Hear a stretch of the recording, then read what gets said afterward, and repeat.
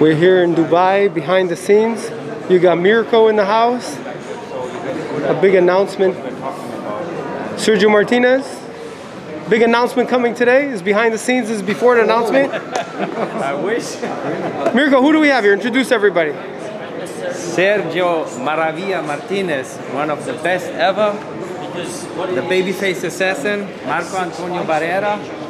And uh, Where did he go? There he is. Wait. There we have the Olympic gold medalist, middleweight from Tokyo, Hebert. From Brazil, but he won it in Tokyo. Yeah, yeah, yeah. gold medal from Tokyo, but from Brazil. Who are you? Say it.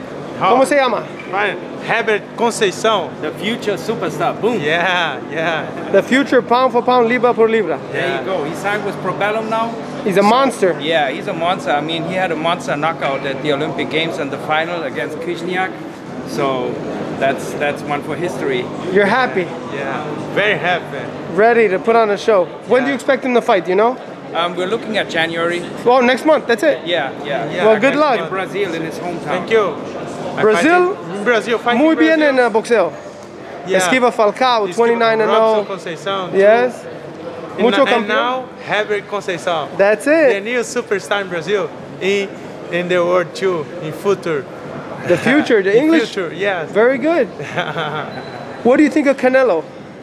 Yeah, in three years, I, I am ready. Three years, you're ready for Yeah, Canelo.